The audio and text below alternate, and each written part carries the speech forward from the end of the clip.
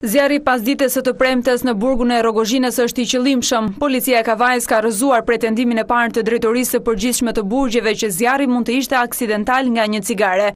Sipas Policisë së Kavajës, nga këqyrja e kamerave rezulton se zjarrvënësit në qelitë e burgut janë dy të dënuarit Ledjon Gjoka dhe Jurgen Muçelliu. Të njëjtat burime siguruan se nuk kemi të bëjmë me një tentativë arratisjeje, por më tepër me një shfryrje inati pas një zënke. Ndodhemi në ambientet e burgut të Rrogozhinës, i cili mbrëmjen e djeshme është përfshirë nga flakët një prej dhomave ku qëndronin të paraburgosurit.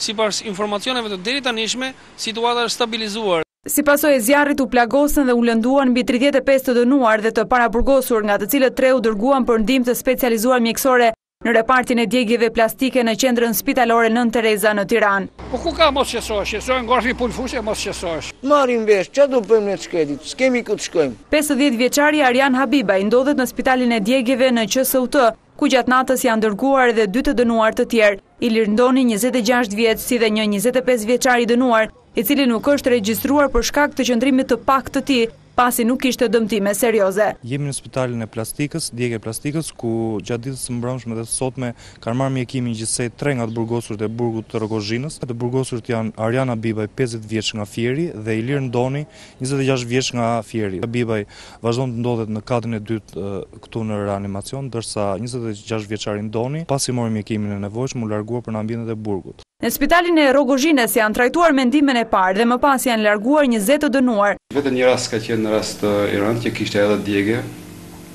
të shkallës parë në të dytë. Rastet e tjera nuk kanë qenë raste shumë të vështira në fakt, kishin probleme pulmonare, pak vështirësi në frymëmarrje. Ndërsa në spitalin e Kavajës deri në mesditën e të shtunës vijonin të trajtoheshin me mjekim shtatëmbëdhjetë të burgosur. U dërguan në Spitalin Universitar Sëmundjeve Mushkërive, Shefqet Ndroqi Tiranë për trajtim të specializuar. Rastet e tjera në gjendje relativisht të qëndrueshme po ndiqen nga stafi jonë këtu. Domthonë janë ndjekur mbrëmë dhe po vazhdojnë të ndiqen akoma. Sipas nëndrejtorit të këtij spitali Agron Sejdini, asnjë prej tyre nuk paraqitet në rrezik për jetën. Nga burgu i Rrogozhinës, sipas burimeve të A një Report janë transferuar shtatëdhjetë e tetë të paraburgosur për në burgun e Peqinit.